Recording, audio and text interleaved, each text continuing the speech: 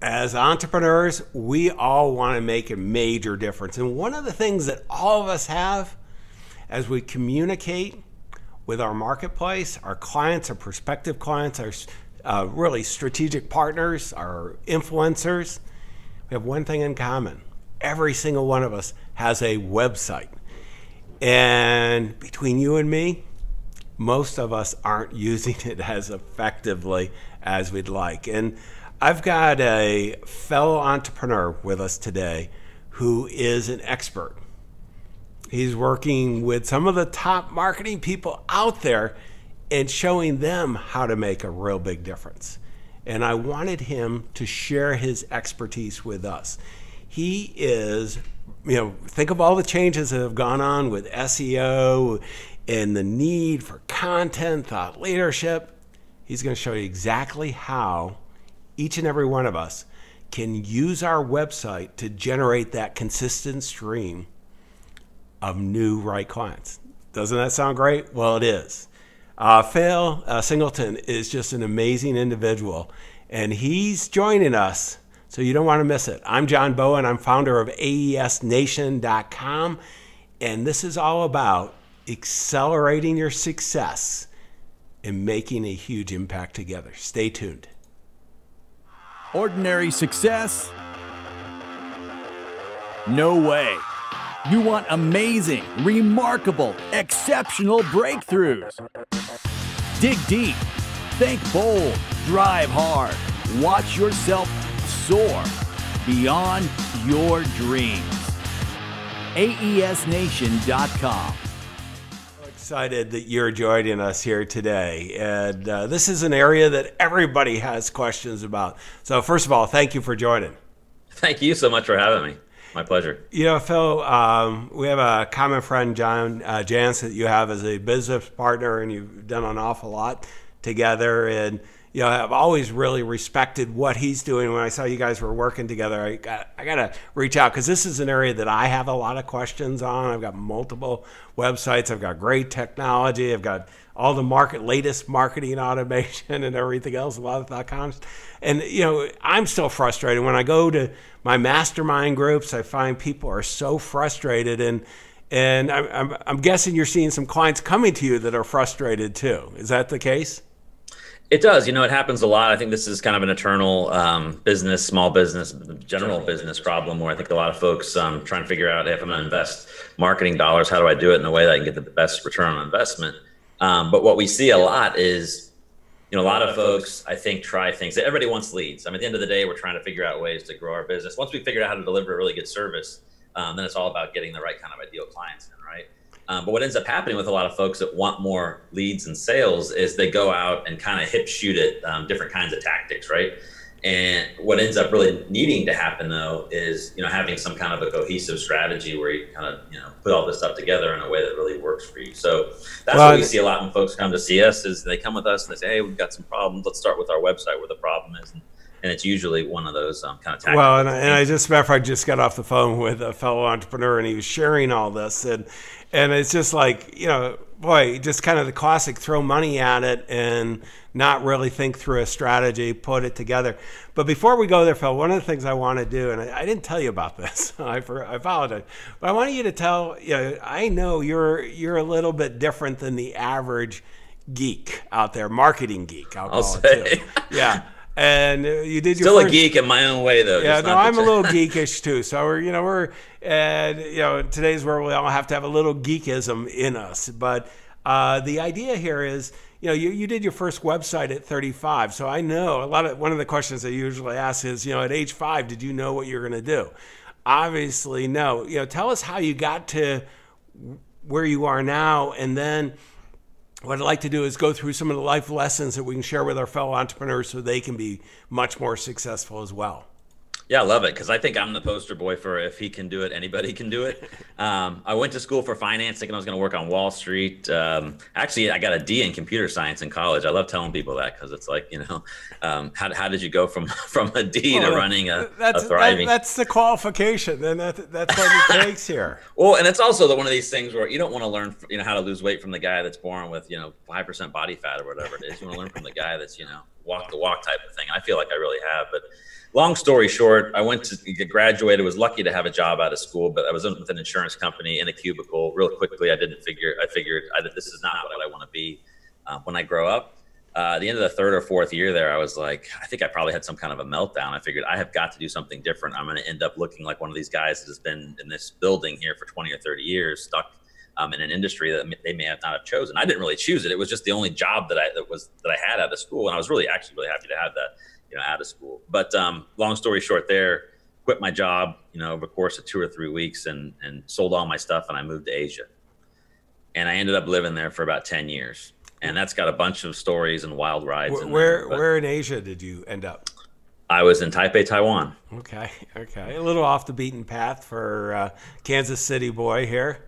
Yeah, I thought maybe China, but at that time, China was still, and obviously still developing right well, now, but it's much different than it was 20 years ago. Consider that China.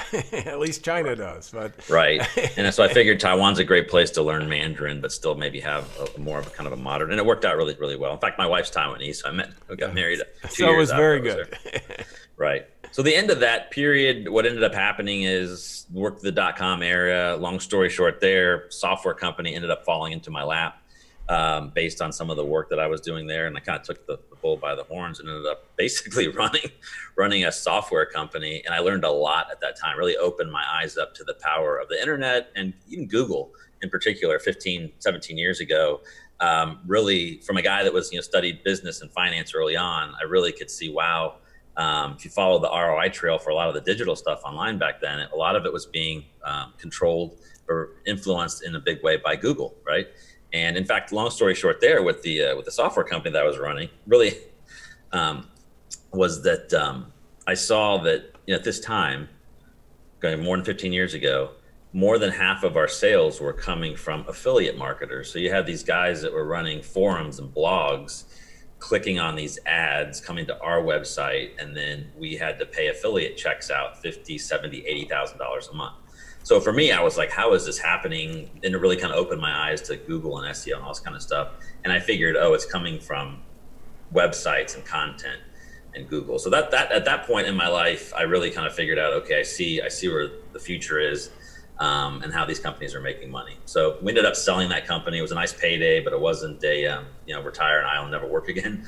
Moved back to the states here in Kansas City um, in about 2005 and was trying to figure out what I was going to do. And I ended up having doing um, again. I'm going to kind of shrink this up for you, but I ended up doing a barter website in 2005 for an auto detailer, um, and didn't really know what I was doing, but I knew that enough about SEO at that time from the software venture that I was I was running that um, this could be really a really powerful thing for local businesses. So I told this guy, didn't know if I could do it um, that I was going to build him a website on barter, and um, you know, because I, th- I told, hey, he, he, at this time he was he was selling auto um, detail jobs to dealerships for like twenty five dollars a car, like killing himself. And I thought, well, if you could get directly to the consumer, you might be able to sell them for a hundred or two hundred dollars a car. So I ended up making him a website. It was a very painful process for me because um, you know I didn't know anything about web design. So I tried really hard and something called Dreamweaver, failed at that. Ended up finding something called Microsoft Front Page ended up building the ugliest little one page purple and yellow uh, website you've ever seen. But lo and behold, about 60 days later, he calls me up, the owner of this business that I bartered with, and says, Phil, I don't know what you've done. You've changed my business. You've changed my life um, because the phone's ringing like it never has before. And at that point, I was like, wow, 35 years old. I finally know what I want to be when I grow up, right? Because um, that was the most professionally rewarding thing that really had ever happened to me. And secondly, I was like, I think I can make some money off of this, right? So that's really what put me on the path to where I was uh, today. Was that one pushing the envelope a little bit, and then boom, you know, something great happened. Well, and it and it is that. I mean, you know, one of the things that we all see is, as entrepreneurs, is the more we can create value for someone else, we do well. I mean, it's the enlightened self-interest that makes that happen. And I want to go over uh, lessons. You know, we are talking about lessons before we turned on the recorder, and one you, really kind of set the stage well with the story is, you know, nothing good ever happens unless you push the envelope. You've got to you got to really deliver value, and you got to do something you're uncomfortable with. And you know, that's you know, you weren't the expert, but you went out and did it and made a huge difference in uh, your first client's uh, life.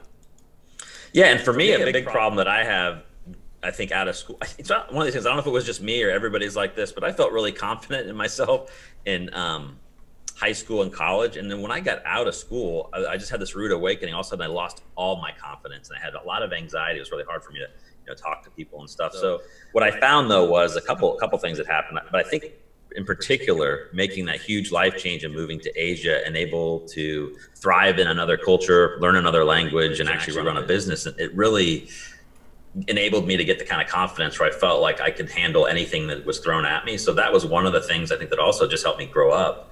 Um, was that first really dramatic, you know, thing that I think changed probably the whole trajectory of my career, I guess my life in, in retrospect. Um, and and no looking back there. And then again, once I learned on that piece of it, I was like, okay, here's a guy that has a problem. I think I know enough, at least on part of this, to really solve his problem. And I think at that time also I figured, you know, I could really fall on my face on this, but I've seen what's happened when I push the envelope. I think I'm really confident I could do this. I also thought, you know what, in the back of my mind, if I really fail this guy, I'm going to reach into my pocket and hire somebody else to do it. But um, but yeah, I think that part of that thing is is is pushing yourself outside and um, taking that chance. Um, is good things happen one, but it also can be a huge confidence booster. It really is. I mean, I've had the same experience. I've started a lot of businesses where I first go ahead and you know kind of launch the business. Uh, you know, software it's called vaporware, but I've done it in services, and then you know let the market tell us what they want and just really deliver the results and go way overboard. But at the same time, by doing that, you know, one of the things that you get is you get confidence. You know, none of it, all of us are a little insecure, and then by going out and you know everybody thinks you start with confidence. You don't start with confidence. You, you start with courage to go out and do something. Uh, i like uh, dan sullivan has uh, a strategic coach has a, i think it's uh, you start with courage. You then find the capability. Sometimes we have to outsource the stuff. Then as you do that you get the you know you really get the competency because you, you learn what works and that gives you the confidence and this is that never ending circle and it's just really powerful let me go though. One of the things you've done, and you, you know, we're forced to in this industry. Well, we got security coming after us now here. I'm in California though, so I don't think it's a long drive. But uh, the you know the thought, Phil, is that you know there's so many changes going on that you know Google and Facebook, the technology side.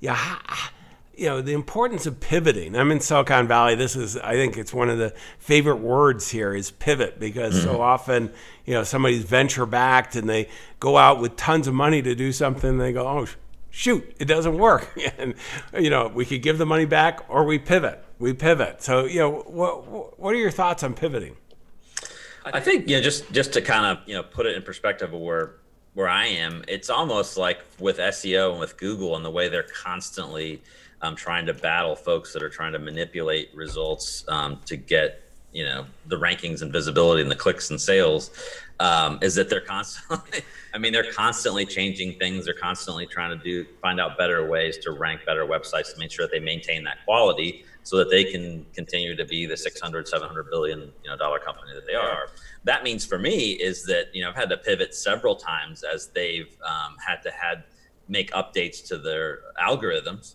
to um, make sure that um, you know that, that they can maintain those results. And, and some of these have been really, really game changing types of updates that they've made um, to the way that they rank websites. Because it used to be we are talking about before the show, John, was that um, and one of the things that drew me to, to SEO in the first place was I'm kind of an introvert you know by nature. And one of the great things about search engine optimization in the early days was you could get a client and almost never have to talk to them because you could do things kind of in the back office on the website or with third-party link build, building and drive you know, a bunch of backlinks to a website, and that moved the needle for a long, long time, and um, and it was great because um, because you could sit back, get clients, and, and, really not have to do much. But you know what ended up happening over the years is you know p- people started to manipulate the system more and more, and where it almost became mainstream, and you had even large companies trying to game game the system with links and kind of on-page um, antics. From J.C. Penney, eBay, Overstock.com, a lot of these companies got called out for for trying to game the systems too hard. Well, long story short, there is Google kind of came back six, seven years ago and really started to make the algorithm more punitive in nature and trying to look after the way people were trying to manipulate the rankings. Well, what that means in terms of me having to pivot was um, they talked about content being king for a long time, but we in SEO snickered for years because we knew on page SEO and links it was what really kind of moved the needle. But then when they made these major algorithmic changes about six, seven years ago, they really meant it this time. And what ended up happening was they put a lot more emphasis on, on quality and content um, and reputation, a lot more signals than just heavily weighting those those two or three things that they used to really heavily weight in the past. Well, that for me, that really meant what? An intro, the introverted guy that didn't even have a blog on his website. Now I blog all the time. Now I'm writing books. Now I'm on podcasts. Now I have my own podcast, right? I'm out there trying to develop personal branding and authority and all these things that Google's trying to do with their algorithm and with their artificial intelligence to try and gather up all these signals to try and figure out, hey, this is quality content. Let's rank this guy and serve up you know his answers and his content and to questions when people are doing voice search or traditional internet search and all that kind of stuff. So huge pivots in there to have to actually change way, you know, your approach to actually delivering services. Um, and and that's a great example of how kind of Google keeps us on our toes and essentially is making us do like micro pivots all the time. Well, let's let's go to that. I want to go a little bit, you know, because one of the things you do is you walk your talk. I mean, so uh, you know, a lot of uh, I'll talk with somebody that does something. Let's use a web uh, developer, and you know, the first thing they'll say to me is, "John, don't look at my website. I've been too busy helping other people." And then I go, "Well." you know what clients well really i don't there's none that are exactly the way i want to use as a demo yeah and you know the, the key thing to me is you've got to walk your talk i mean this is so important to be able to walk your talk and you do and the part that I want you to spend some time on, Phil, because this is a pretty major shift that we're we just kind of touched on. Because when I came in, you know, in the SEO side, I, you know, I got all excited on the backlink. I just came in right at the tail end before it switched, and by the time I figured out what I needed to do, it was too late. But you know, you, you find these things and you try to figure out, oh, I'm going to game the system and it's going to work so well. Shortcuts all over the place, right? Yeah, all over the place. It's going to be, you know, it's done. And it's not. And, and one of the things I, I really like now, I mean, I think, you know, Google is a smart company, obviously very successful uh, you know, all but a monopoly. Uh, by the FTC's requirement. And what we, you know, with that, they write the rules. And they're getting really smart on people gaming the system. You know, so one of the things you have to actually have value. And I want to, you know, this is something not all of us as entrepreneurs understand. And even if we understand, we don't know how to apply it. I mean, how, how do you help your fellow entrepreneurs, you know, your clients really, you know, think through this because it's, you know, you, you think of the pivot, you know, a lot of entrepreneurs don't like being spokesmen. They don't want to be on podcasts. They don't right. want to write, you know, books and columns and all this stuff. Well, you're looking at one of them. yeah. See, actually, I, I, I do. I, got, I, think I've right written now, about just because I'm an introvert. You know, it's just the way I'm wired. So yeah, I, yeah, I, like writing, but but you know, mm-hmm. but and everybody's everywhere. So how how how do they address it, Phil? Well, there's a couple, things. and one of the things that you mentioned is one of the ways I sell is again, I don't think I'm the type of guy that can sell an ice cube to an Eskimo type of deal. So what's worked for me over the years is literally my presentation is okay. Somebody comes in, let me show you what we're going to do for you. Do a search for Kansas City web design. We come up first. We've got more reviews than anybody else. You come to the website, and then we try and show you all the things on the website that you need um, to convert somebody and warm them up and get the phone call and the sale. So being able to do that when somebody's like in your office or you know, in an interview, it's very powerful because it's like that's the system that I want to build for you. Let's talk about how that, how we've done that. So I do, I do think, think that's really powerful for a lot of. It doesn't matter if it's web design or anything. If, if you can show people that whatever you're trying to sell them works for something that you're doing as your own case study, very very powerful stuff. Now let's take one step back though and talk about one of my favorite hacks. Again, is uh, the way I like to try and convince people is to show them evidence. Okay. So one of the coolest things about Google is, and I totally agree with what you said, John.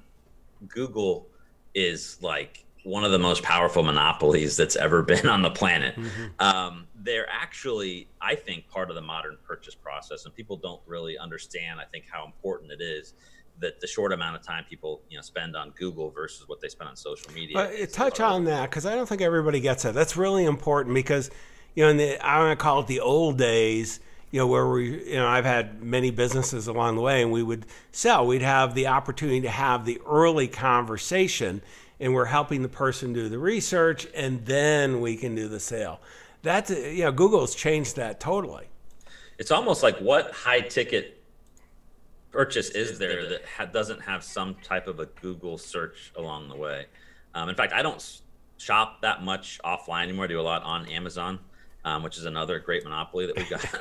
um, but literally, if you go to like a Best Buy store or try and buy something anywhere, you'll see people like Googling stuff right in front of them on the shelf, you know?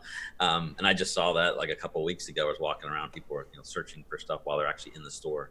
Uh, but I do believe that for most people, um, Google start big ticket items, it's Googling is just part of the modern purchase process. I mean, there's five to six billion internet searches a day, it boils down to about 70,000 searches a second. Um, and it's mostly people looking for answers to questions and information about products and services. And anybody who wants to make a decision, I mean, they're basically going to Google something on somebody. And even the whole, to me, even the whole referral word of mouth games changed because, you know, back in the day when I bought my first house, I would have asked my dad, for a referral on whatever home services I want to do. Well, if somebody, that's great. If I hear a referral on social media now, or my dad tells me there's a there's a good person I should try, the first thing I'm going to do is look them up online to see if that word of mouth referral it actually matches up to what I can find on my own. Um, what I see on their website or what, what kind of social group that they stacked up. Yeah, and that's why I want you to, and I, that's true. I mean, you know, I I do that like everybody else. But my wife has gone through. Uh, you know, some fairly serious health issues, and I've got all kinds of access to connections because what we do. But the uh, I still, uh, you know, I get strong referrals from a, a high-end concierge group that's sending me say, hey, these are the people you would need to meet with. Hop on a plane, go meet with these guys. We'll set it up. I go on their website and look at their website to see, you know, one of the things I'm a layperson in the case of medical I don't know whether they're an expert or not, but I'm looking at their publishing, their thought leadership, how they're held, you know, the other conferences, you know, and as you called social proof. And, and we do this in every part, anything important in life. Uh, I I saw a study from Harvard that it was it's not we we might be overstating it was they came up with 98.9 percent of the people on important decisions Google it. I don't know what the other you know that little piece isn't doing, but this is amazing. But how do you how do you help you know fellow entrepreneurs actually? You know, it's one thing to have a website, but have the content there that gives them the credibility that if you or I are shopping for their services, we say, hey, I, I want this person. So my favorite thing to do is like if I just say that and it's like, okay, I've done this stuff, I've written a book, you found me. It's still um, it's still not coming from the horse's mouth. So one of my favorite tools and hacks I think that's out there that's actually freely available, and I think it's almost like one of these deals where when I first read it, I was like, oh my gosh, I have the answers to the test type of a thing. I shouldn't be looking at this. Is Google has an army of about 10 to 15,000 human beings that they use to manually check search results. So they've got all this great technology, and the whole system's based on them able to use algorithms and artificial intelligence to go out there and scour the internet and find the best information and serve it up too. But they also have a human team to go out and say, let's make sure um, that the stuff that we're searching actually makes sense to humans. They've got this kind of a human feedback, and they call that the Google Search Quality Evaluators. Um, and they've had this for years. But about two years ago, um, they actually released the document that they use to train these independent contractors. And it's called the Google Search Quality Evaluator Guidelines. Okay. You have to keep in mind that people that they use to hire to manually check the quality of search results, they're not like trying to go out and find like rocket science. They're just regular lay people that are looking for extra work um, on a part time or full time basis. So the guidelines are written for people to understand. Now they're about right now they're about 160 pages, but if you literally like right now, if you go and Google Google search quality evaluator guidelines, I think that's five words, right? You will find the first search result is goes directly to Google to the PDF link where you can download this document for free. Now, it's absolutely fascinating to me because you read the first two um, pages of the document are um, just the table of contents, and they basically are breaking down what they're telling these first time quality evaluators what to look for on a website in order to determine if it's a quality website or a quality web page. So it gets really specific. And in fact, there is an abbreviation in there they use dozens of times, maybe scores of times, called EAT, and it's in there from the very beginning throughout, at least to the middle of the book. I think all the way to the end. And they talk about EAT, EAT, EAT, and EAT is expertise, authority, and trust. So these are the three elements that they're trying to hammer into the search quality evaluators to look for on a website. And they go into great detail to say, well, what are, I mean, it's great to say, hey, we need to see expertise and authority and trust, but what does that really mean, right? Well, they get down into the elements of the page that you need to see. And you'll actually see this on my website because the first time they released this, I went right to work and I was like, "Oh my gosh, I have to actually redesign my site now based on." Well, you're you're getting the cookbook formula. I you know exactly. I, I, wrote this down. I didn't I didn't know that. I mean, that's a very powerful thing to think through at least as initial framing. And what's the element? The, the elements is they want to see a phone number, they want to see an address, they want to see testimonials, they want to see um, certifications and badges. They talk a lot about MC and SC, which is um, a satisfactory amount of main content and supplementary content. Um, I mentioned badges, association badges. They want to see um, testimonials, reviews, um, all these things that actually provide more trust and proof on your website. They also want to see, and they go very specifically, they say they want to know who is the author of the content on the website. Um, so there's all sorts, and there's like 20 or 30 other examples in, in this document where they go in and say very specifically the types of things you need to bake into your website to increase, you know, the, the expertise, authority, and trust. And it's doing two things. One, it's telling you what Google um, wants to see to rank your website. But Google's really smart. They've been doing this for a lot of years. They know when a visitor visits onto the website, the stuff that they need to show them in order to convince people to buy things because their whole business 90% of their revenues come from AdWords, right? And that's driving people from the paid clicks, which only really represents about 20% of the total traffic. Organic's about 80% of it. But the idea is that you pay them for money, which is how they make their, you know, billions of dollars to come onto your web page. They want to make sure that people actually see information on the website and the web page that convinces them to take action and make a sale. Because when that happens, people invest more money into AdWords, right? They don't say this in the document, but to me, that's really what the the um, what um, the important message of, of this document is is they're really trying to you know make sure that you have the right elements on the web page to be successful. Um, and it's you know there's that surface level thing where they're trying to, to teach the uh, quality evaluators but there's also the the fact that you know Google if Google's going to put out a 160 page document, you know every major engineer of a lot. they really poured over every single word on it. They've updated it several times. They'll probably update it again this year. Um, but there's there's um, there's a lot of intention behind that document and a lot of, of, answers to things. So when I come out and say you need to have this on the website, that's one thing, right? For me coming as an agency owner, but when I can pull out a document to say, look, Google says you need to have this stuff on your website, um, then it carries a lot more weight. Well, you know, one of the things, Phil, um, you and I uh, are really we're kind of into this stuff because uh, I, in the way I'm, you, you do it as a business, I do it for my businesses, and it's so important to me because it generates that steady stream of new clients, and you know, it's it's amazing when you do it right, and I've done it both ways, and I prefer right but one of the things that I've always struggled with, and I know you hear from other entrepreneurs, is geez, when you start looking at all this content, you know, how do you do it? And and one of the things you talk about in your writing and you know conversations is repurposing. Why don't you talk about repurposing? Because you know, I, I know when I I went to my first kind of uh, presentation, you know, teaching you how to do all this stuff. I go, you know what? I'm going to try another business because this is this is a lot of work. It really is, and but the one of the things I really love about it is is I think one of the things that drew me to like SEO in particular in the beginning was the ability to kind of do a few things and jump up quickly with shortcuts that you could use in the past that actually work. So the reason I say that is because still I think the heart of what I always try and do is how can I do the least amount of work and get the most amount of value out of it. So trying to find those hacks is really kind of what drives me um, to this day. And uh, just to give an example, because there's a lot of things we talked about, John, even before the shows. I think a lot of people they throw money at stuff or they spin their wheels and somebody says, "Hey, blogging works." They go out and do a bunch of blogs. They go a bunch of stuff, but there's a lot of times there's not if you do things kind of in a one-dimensional way, you end up spinning your wheels, wasting a lot of time, wasting a lot of money. Well, I, Um, I think of I saw a piece on the number of podcasts. Since we're both doing podcasts, the average podcast is like two and a half or something like that.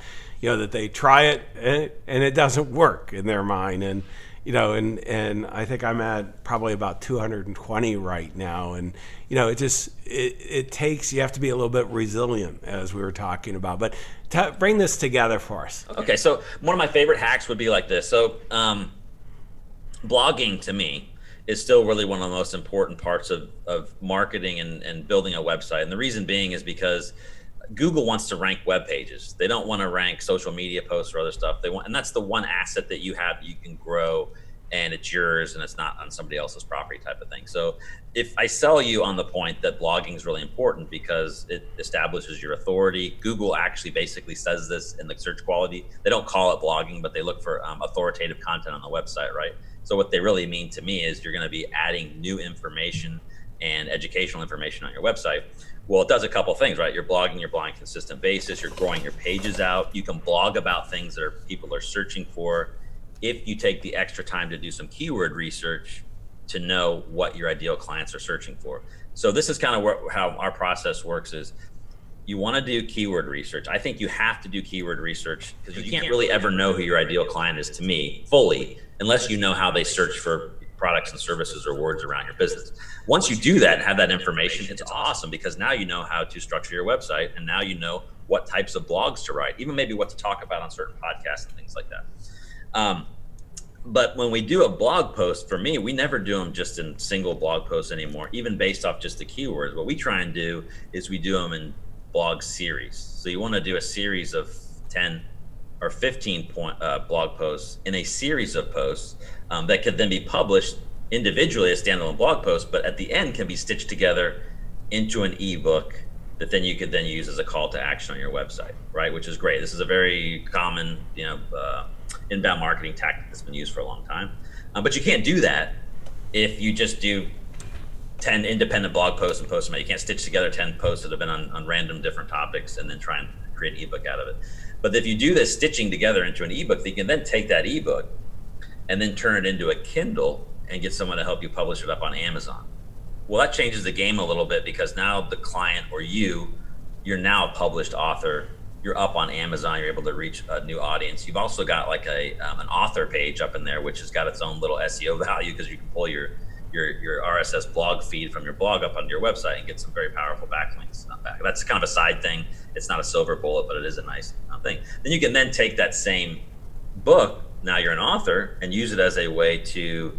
It's basically you have a publishable, uh, you know, kind of a launchable piece of content that you could do things like what I ended up doing, which is um, using it as a podcast guesting campaign, right? So you can get up and say, now I'm a published author. Author, here's my one sheet, which is almost kind of like a bio. You can go out and, and pitch yourself um, to to podcast hosts, and all of a sudden now you're able to multiply, build your personal branding authority. And and what's great about podcast guesting is it's almost like a a, a town hall, kind of a virtual um, speaking tour. You're getting out in front of pockets of who knows, maybe it's 50 people somebody has, maybe it's 500, maybe it's 50,000. Um, but it sure is an easy way to get out in front of lots of people and establish yourself and get access to new audiences. And also, there's tons of benefits you can do. So, I to bring it back and how that's a way that you basically, if you got the right keyword and content strategy, and maybe you hire some writers to help you start writing this blog series and post up on your website. Now you're basically almost doing your blogging and writing a book in the background or in your sleep, so to speak, while you're still running your business. And that's kind of the types of hacks you want to do. Because if you just look at each one of these individually, like um, I'm going to do the SEO, I'm going to write blog posts, I'm going to write a book down the line, maybe I'll do something related to podcasting individually, you never get that um, single kind of an effort where you can get spend a lot less time and money and get a lot more results out of it. No, this this is really good, and I think this is so important. I just want to reiterate it a bit. I always think of it as repurposing, we do very much what you're talking about. And you know, we do a huge amount of content because we have a thought leadership program we do for financial advisors, and another one for entrepreneurs. Uh, but it's it is we, we put out a lot of content and everything is repurposed. Um, and we have a whole systematic way of doing it because there's no way you can create all of this. I mean, most of us feel overwhelmed when you create the systems. And one of the things I want to, a big distinction I have, Phil, is there's authors and writers. And so many people like myself, entrepreneurs, I mean, my, my former English teachers would be amazed. I've published now, I think, 24 books. Uh, awesome. my, my partner's published now 60. And it's just, you know, uh, the first book took two years, uh, the last one 30 days. Uh, yes. I am the co-author in a case with my partner Russ Alan Prince, and but we have a team of writers, editors, research people, the whole thing. And sometimes we get caught up. We think we have to do it, but if we can, if you've got the ideas, you can have work with teams like yours and really pull this all together. And it's pretty amazing. Matter of fact, let me do this. What I'd like to do, I'm going to pull up on the other screen your website and bring it up. Uh, tell us, you know, you know, I see it's coming up you know that you sell websites, you build lead generation websites, all this stuff. Um, you know, it's kind of like, okay, this is what I want. I mean, how does somebody, you know, working with you in any of these capacities? Um, one, I'm assuming you go outside of Kansas City, or we wouldn't be talking, Phil. so, but you know, what what is it that um, how would you help an entrepreneur best, and what are the resources on your website for them? Well, it's really interesting that um, you know I've been I started off here locally and we do really well. I think we basically dominate the market in terms of our footprint, you know, online when you search for stuff. And then all of a sudden, I really started to buy into personal branding and authority building, and it's really ballooned for me in the last like uh, 12 or, or 18 months. So it's just a power to the uh, it's just a testament to the power of doing this kind of content marketing where I've almost kind of fallen behind being able to capitalize on opportunities because for so long I marketed myself as Kansas City web design, but now through the power of podcasting, content marketing, writing books and stuff, I'm getting my audience is extending way outside of Kansas City. I'm driving them back to a web, like website that's still um, is largely you know based on the geography that I'm in right now. So there's a whole process of me right now also trying to you know create another kind of a separate brand that's more less tied to Kansas City.